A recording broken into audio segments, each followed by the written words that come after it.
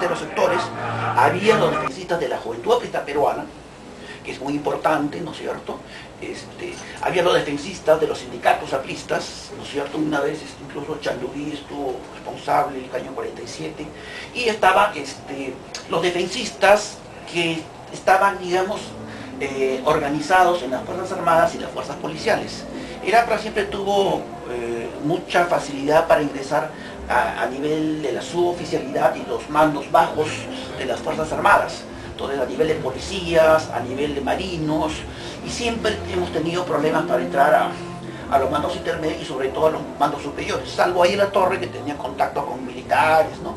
y a partir de eso establecía potenciales acuerdos o insurrecciones armadas dirigidas por militares.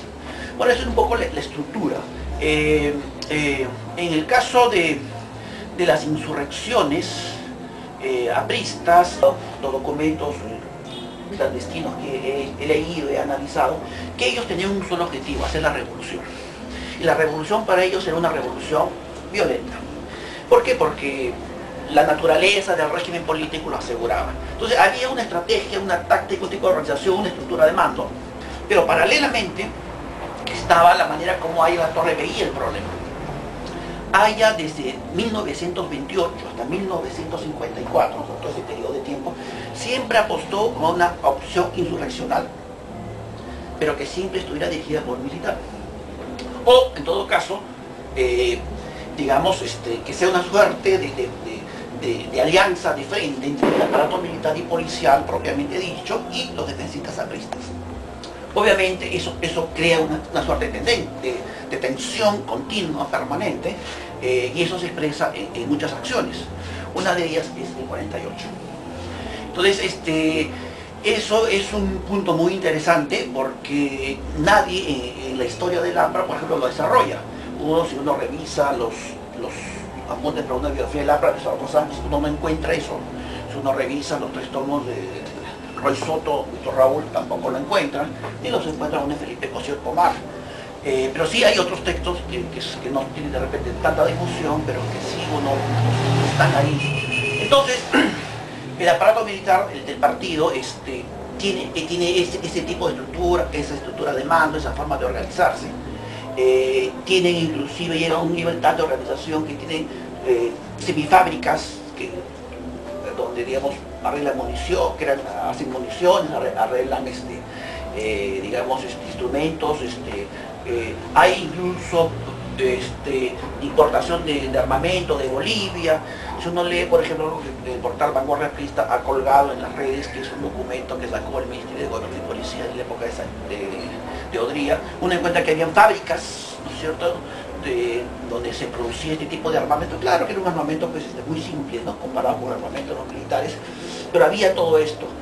Entonces, este, la Secretaría de Defensa eh, mantiene ese tipo de, esquema, de tradición, de organización, ese, tipo, ese objetivo de hacer la revolución por la vía insurreccional armada. Y, siempre cuando hubo este, estos intentos de hacer insurrecciones, pero con alianza con los grandes generales, los planes que es, que es Camiloni, eh, siempre había tensión, siempre había tensión, siempre había roce. Y cuando los 48, por ejemplo, es un caso muy interesante que, grafica esto.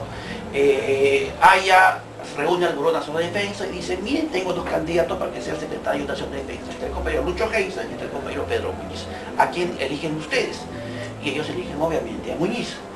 Pero los compañeros este, nominalmente Muñiz era el secretario de defensa, pero los compañeros este, deciden este, no hacerle caso, se manejan de manera totalmente autónoma e independiente. Y por ejemplo en el 48 ellos deciden que quien dirige la insurrección aprista del 48 es el popular César Enrique Pardo, que era un compañero este, que había sido congresista, que había sido desterrado en Santiago, Chile, que era un coronel de ejército, y que uno de sus sobrinos, justamente el comandante Marina Aguila Pardo, ¿no es cierto?, que muere en situaciones todavía no muy claras, este, iba a jugar un papel muy importante como, como la persona que iba a aglutinar la insurrección justamente en la Marina. Entonces la insurrección 48 tenía toda esta estructura. Y lo que pasó después, este, con todas las idas y venidas, este, las desavenencias, resentimientos por un lado y por otro lado, eh, acusaciones por aquí y por allá, quizás sea uno de los momentos más tristes del partido. Eh, Juan Aguilar de Pich, no sé si antes a conocer Juan Aguilar, de la, de la JAP del Callao, por ejemplo, saca un librito eh, donde eh, hace su historia de la japista y cómo participó en el 48, pero hay una segunda parte que están los testimonios. Y, el partido de a partir del 48 como que se rompe, ¿no? Hay una suerte de, división en donde, por ejemplo, en las prisiones era tal la, situación de, separación en el partido que los apretas se dividían en dos. La gente que era del, comando de defensa, inclusive dormían entre ellos en un pabellón, y en otro pabellón estaban los compañeros del partido, el partido oficial que seguía las órdenes de Víctor Raúl. O sea, el 48 es, un acontecimiento que hay que reobservarlo a, partir de, todos los años que han transcurrido. Creo que hay que mirarlo de otra manera, de manera distinta quizás como se ha presentado, tratar de reivindicarlo a gente que estuvo ahí presa.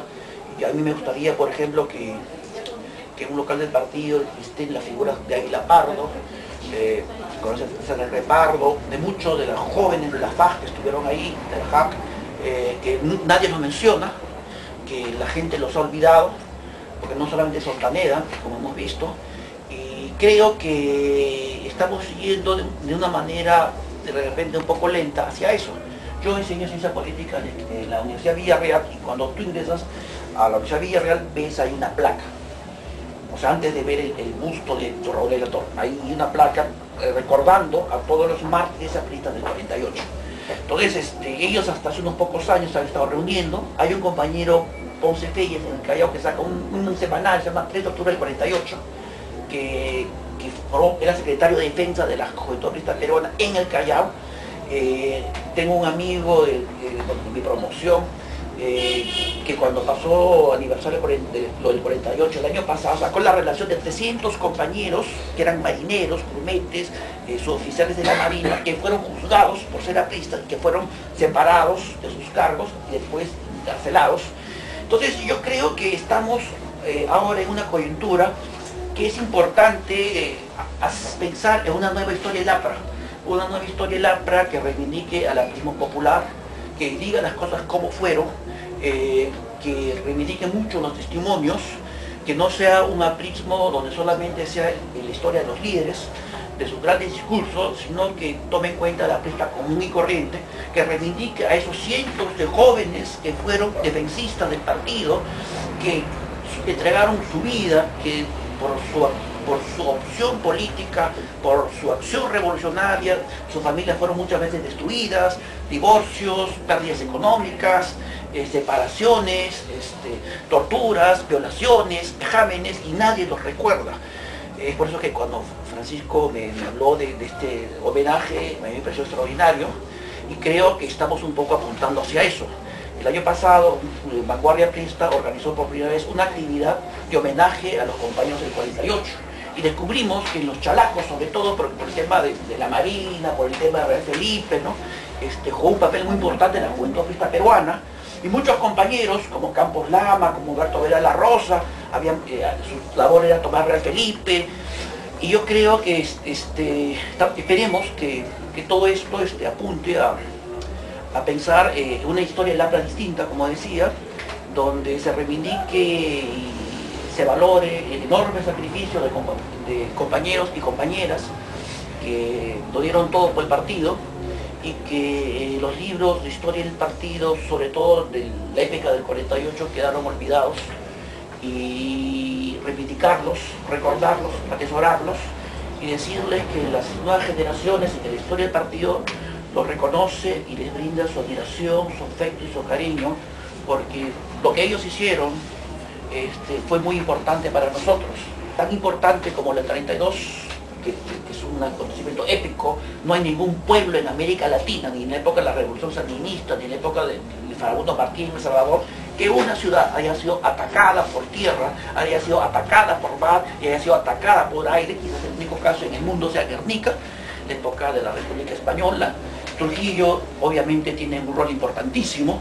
Entonces, eh, hay gente que se retiró el partido, por ejemplo, Ciro tuvo una relación muy intensa con Orrego, discípulo de Tenor Orrego, y al mismo tiempo tenía mucho cariño a, Búfalo Barreto.